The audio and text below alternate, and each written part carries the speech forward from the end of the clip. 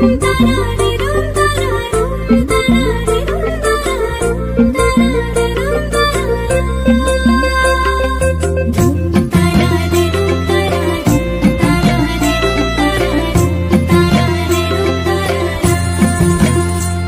একা হাতের শাখা একদমই পরিষ্কার করতে পারি না। মানে যেটুকু পারি সেটুকুতে মানে কি বলো তো কিছুদিন বাদে বাদে আবার পরিষ্কার করতে হয়। আবার যদি কেউ পরিষ্কার করে দেয়, সেইটা আবার অনেক দিন যায়। যখনই আমি বাড়িতে আসি তখনই বোনকে বলি পরিষ্কার করে দিতে। তো আজকেও বললাম যে বোনকেই পরিষ্কার করে দিতে তাই জন্য আর কি দিতে বসেছে। আর অনেকটা দিন আগে যখন আমি বাড়িতে এসেছি তখন আমাদের বাড়ি এই সামনের বাড়ি একটা বোন আছে ওই বোনটা বলেছিল যে কোলগেট দিয়ে শাখা পরিষ্কার করতে তাহলে একদম ঝকঝকে হয়ে যায়। তো সেই জন্য সেই পর থেকে এই কোলগেট দিয়েই পরিষ্কার করি। আর যখন আমি শ্বশুরবাড়িতে থাকি তখন দুদিন করে সাথী আর পুতুলকে বলেছিলাম। তো ওরা দিয়েছিল একদিন একদিন করে। আর কি বলতো, এই শাখাটা মানে কোলগেট দিয়ে পরিষ্কার করা ভালো হয় একদিকে, কিন্তু আর একটা সমস্যা আছে। এই যে বোন এখন যেইভাবে ঘষছে, এইভাবে ঘষলে না হাতে জ্বালা পোড়া করে। তো বোনকে জন্য বলেছি যে শাখার নিচে হাত দিয়ে তারপরে পরিষ্কার করে নিতে। আমি যখন একা একা পরিষ্কার করি, তখন ওইভাবেই করতে হয়। তো ওই সময় ভীষণ হাতে জ্বালা করে। তো মানে ধোয়ার কিছুক্ষণ পরেও থাকবে, তারপরে গিয়ে ঠিক হয়। কিন্তু ওইটুকু সময় জ্বালা পোড়া করে, ওটাই যেন বেশি কষ্টকর। আর এই যে দেখো, শাখাটা কি দারুণ পরিষ্কার হয়েছে, এটা থাকবে আবার অনেক দিন। যেহেতু বোন করে দিয়েছে মানে কেউ যদি করে দেয়, তখন অনেক দিন থেকে যায়। শুভ সকাল বন্ধুরা, তোমরা সবাই কেমন আছো? আশা করছি খুব ভালো আছো, আমিও খুব ভালো আছি। নতুন আরেকটি ব্লগে স্বপ্ন আমার চ্যানেলে তোমাদের সবাইকে শুভেচ্ছা ও ভালোবাসা জানিয়ে আজকের এই ভিডিওটি শুরু করছি। ফ্রেশ হয়ে নিয়েছি, এখন যাব রান্নাঘরে। চাল কুমড়ো শাক রান্না করব তো বোন তো কেটে দিয়ে বিড়ি বাদ্যেও বসে গেছে। আর আগে রুটি করব, তারপরে গিয়ে ভাত তরকারি, এইসব কিছু করব। তো চলো এখন রান্নাঘরে যাই আর তোমরা ভিডিওটা দেখতে থাকো। রান্নাঘরে এসে উচ্ছে আলু কেটে নিয়েছি, এগুলো ভাজা করব। এগুলো সব কিছুই ধোয়া হয়ে গেছে। আর এদিকে আলু কেটেছি, এই আলুটা দেবো চাল কুমড়ো শাকের মধ্যে। আর এই যে কিছু লঙ্কা রয়েছে, এগুলো চাল কুমড়ো শাকের মধ্যেই দেবো। চালকুমড়ো শাকগুলো ধোয়া হয়ে গেছে। আর এদিকে একটা বেগুন ছিল, তো ওই বেগুনটা কেটে নিয়েছি ভাজা করার জন্য। আর কিছু রসুন ছাড়িয়েছি, ওই রসুনগুলো দেবো চাল কুমড়ো শাকের মধ্যে। চাল কুমড়ো শাকে রসুন দিলে বেশ ভালোই লাগে খেতে। উনুন ধরিয়ে ভাতের জন্য জল গরম বসিয়েছি আর তারপরে রুটি করে নিয়েছি। তারপরে বেগুন ভেজেছি আর উচ্ছে ভাজাটা বসিয়ে দিয়ে তারপরে বাইরে এসেছি। কাঁকড়োটা বোন রাতে ভিজিয়েছিল তো সকালবেলায় এখন মনে পড়ল তাই জন্য আর কি দুজনেই খেতে বসছিলাম আর তার মধ্যে এই বৌদি আর ভাইপো দুজনে এসছে। তো ভাইপোর মুখে একটুখানি দিলাম, কিছু তো মুখে নিতে চায় না আর যদিও বা একটু নেয় মানে একটু চিবিয়ে নিয়ে তারপরে ফেলে দেবে, কিছু মানে খেতে চায় না। তো এই যে মুখের মধ্যে দিয়েছি একটু মানে চিবিয়ে নিয়েছে, তারপর আবার ফেলে দিয়েছে। আঁকড়োটা খাওয়া ভালো। মানে যখন আমি প্রথম খেয়েছিলাম আমার বিয়ের অনেকটা দিন আগে ও একদিন এনেছিল মানে আমাকে খাওয়াবে করে। তা আমি মুখের মধ্যে একটু নিয়েছি তো দেখছিলাম যে এত পরিমাণে তেতো ওই জন্য আর ফেলবি না তো? কিন্তু তারপরে থেকেও আমার কাছে শুধু বলতো যে ওইটা খাও দেখো ভালো লাগবে। মানে মাজার ব্যথাটা না অনেকটা কমে। প্রথম খেলে একটু তিতো তিতো লাগে। হুম, এই খেলে জানো মাজার ব্যথা কমে। প্রথম দুই দিন খাবা মানে ওরকম লাগবে।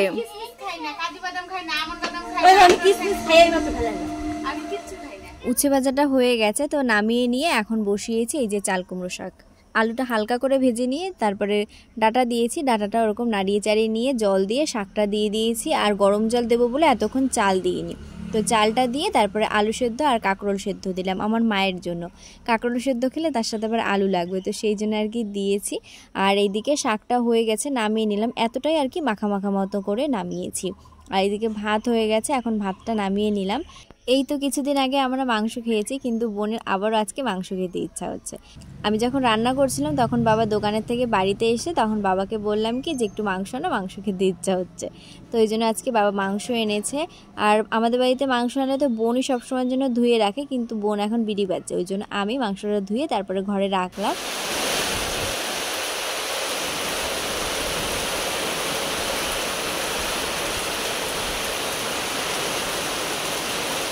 আজকে হলো দশই জুলাই, আমাদের এই বাগদা ব্লকে আজকে ভোট রয়েছে। এর আগে মে মাসের কুড়ি তারিখে ভোট হয়েছিল, সেই দিনও বৃষ্টি হয়েছে আর আজকের দিনটাতেও বৃষ্টি হচ্ছে।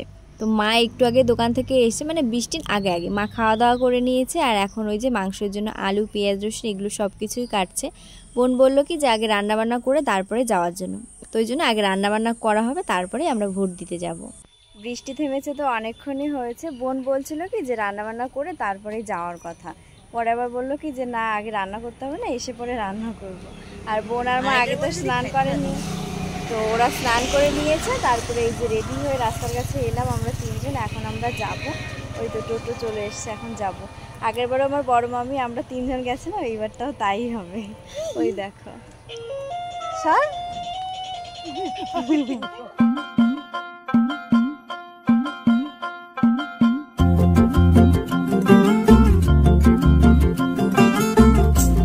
আমাদের ভোট দেওয়া হয়ে গেছে আর ভোট দিয়ে অনেকক্ষণ দাঁড়িয়ে রয়েছে। মানে ওইখানটায় যেই মানুষজনগুলো রয়েছে, ওইখানটায় প্রথমে ছিলাম আর এখন আমরা বাড়ির দিকে যাব। আসলে আমাদের একটা দিদার শরীর ভালো না, তো একা একা ভেতরে যাবে ভোট দিতে, তো সেই জন্য আমার বড় মামি ওই দিদাকে নিয়ে গেছিল ভেতরে। তো ওই জন্য আর কি এতটা সময় দাঁড়ানো হয় যে ওই যে আসছে আমার বড় মামি আর ওই সেই দিদা। তো ভোট দেওয়া হয়ে গেছে, এখন আমরা যাব। আর বৃষ্টি থেমেছে, তারপরের থেকে যে এত পরিমাণে গরম, কি বলব? তো এখন এখানটাতে সবাই বসে রয়েছে। এখন অটো টোটো যাই আসুক না কেন, তাতে করে আমরা বাড়িতে যাব। আর এই দিকে দেখো, আমার বোন দাঁড়িয়ে রয়েছে। এই যে দেখো, গরমে কেমন করছে। আর এই হচ্ছে আমার বড় মামি। আর আমরা যেখানটাতে ভোট দিতে এসেছি, এই জায়গাটা হলো আমাদের বাড়ির খুবই কাছে। আর ওইখানটা মানে তোমাদের অনেক দিন আগেও আমি একটা ভিডিওতে বলেছিলাম যে, আমাদের বাড়ির কাছে একটা মিষ্টির দোকান রয়েছে। মিষ্টিটা ভীষণ ভালো। তো এই হলো সেই জায়গাটা। কিন্তু এখন আর না, ওই দোকানের মিষ্টিটা অতটা ভালো করে না শুনেছি। মানে আমার বড় মামি যাই হোক না কেন মানে ছোটোখাটো বাড়িতে একটু পুজো করবে, তাও ওইখান থেকে মিষ্টি আনতো, বাজারের থেকে আনতো না। আমার আইব্রো ভাত দিয়েছিল, তখনও ওইখান থেকেই এনেছিল। কিন্তু মামি এখন বলে কি, ওইখানের মিষ্টির ভেতরে এখন নাকি শক্ত শক্ত মতো হয়। ওই জন্য আর কি ওইখান থেকে আনা হয় না। বাড়িতে চলে এসেছি, আর এখন যাব হলো দোকানে। এই বৃষ্টি হচ্ছে, তো আবার এই রোদ। মানে রোদের মধ্যে থেকে আবার বৃষ্টি হচ্ছে, ওই জন্য আর কি ছাতাটা নিয়ে যাচ্ছি। আর দোকানে যাব হলো ঘি আনতে। আজকে আমাদের বাড়িতে পোলাও রান্না হবে। আজকে মানে প্রথমই হবে। মা অনেক দিন থেকেই ভেবেছিল যে মানে পোলাও রান্না করবে, কিন্তু সে আর হয়ে ওঠেনি, তো আজকে হবে। তো চলো, দোকানে থেকে তাড়াতাড়ি করে ঘিটা নিয়ে যায়, আর ওইদিকে মা মাংস রান্নাটা বলল যে এক্ষুনি বসিয়ে দেবে। দোকানের থেকে বাড়িতে চলে এসেছি। মা এদিকে রান্না বসিয়েছে। মশলাটা কষিয়ে নিয়ে মাংসটা একটু আগেই দিয়েছে। আর এই পাশের উনুনে বসানো রয়েছে গরম জল। মাংসের জন্য ওটা নামানোর পরে দুধ গরম বসানো হবে।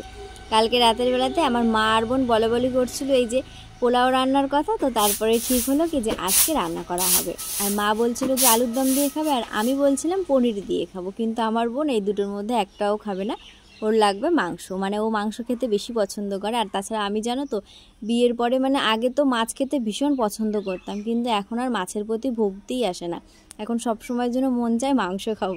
আর মা চালটা ঝিরে দিয়েছে, তারপরে একটু মানে কণা কণা মতো ছিল, সেগুলো আর কি বেছে দিয়েছি। দিকে মায়ের মাংস কষানো হয়ে গেছে, তাই মাংসের মধ্যে জল দিয়ে দিয়েছি, কিন্তু তার আগে কষানো মাংস কিছুটা নামিয়ে রেখেছে। কষানো মাংস খেতে না ভীষণ ভালো লাগে। মানে ঝোলের মাংসের থেকে কষানো মাংসটাই বেশি পছন্দ। ওই জন্য মা সব দিনই আমাদের জন্য কষানো মাংস নামিয়ে রাখে। আর এদিকে বোন তো বিড়ি বাজে, তাই জন্য বোনকে খাওয়াতে এসেছি, তার সাথে নিজেও খেয়ে নিচ্ছি। আর এই যে দেখো, মাংস রান্না হয়ে গেছে। সবটাই কাঁচা লঙ্কায় করেছে আর তার সাথে একটু কাশ্মীরি লঙ্কার গুঁড়ো দিয়েছে। ওই জন্য কালারটা অমন এসছে। আর এইদিকে মা এখন রান্না করছে পোলাও। এটা রান্না হয়ে যাবে, তারপরে আমরা খাওয়া দাওয়া করব। আমরা তো প্রায় সময় বিরিয়ানি ফ্রাইড রাইস এইসব কিছু খাই। কিন্তু পোলাওটা তো খাওয়া হয় না, তাই জন্য জানে তো, রূপা মাঝে মধ্যে বলে ওঠে যে, এইসব কিছু খাই, তাহলে একদিন পোলাও রান্না কর। কিন্তু সত্যি বলতে আমি তো পারি না, তাই ওকে বলি যে, আমি তো রান্না করতে পারি না। আর ও বলে কি যে, প্রথম প্রথম ভালো হবে না। কিন্তু তারপরে তো ভালো হবে। তো সাহস করে না কখনো করিনি। আর আজকে মা রান্না করল। তবে মাও জানো তো প্রথমেই রান্না করেছে। এর আগে আমাদের যতই মানে পোলাও খাওয়া হয়েছে কিনা, সেটা হচ্ছে নেমন্তন্ন বাড়িতে। বাড়িতে কখনোই বানিয়ে খাওয়া হয়নি। আজকে প্রথম বানানো হলো, তবে জানো তো ভীষণ ভালো লাগছে খেতে। এরপর থেকে বারবারই খাওয়া হবে। আর রূপা বাদ পড়ে গেল। তো রূপাইয়ের পরের দিন যেই দিন আসবে, সেই সময় আর কি সবাই মিলে আবারও একসাথে খাওয়া দাওয়া করব। আর এখন খাওয়া দাওয়া করিনি, তাহলে চলো এই ভিডিওটাও তাহলে এখানেই রাখছি। দেখা হবে নতুন একটা সুন্দর ভিডিওর সাথে। সবাই ভালো থেকো, সুস্থ থেকো, সবাইকে টাটা।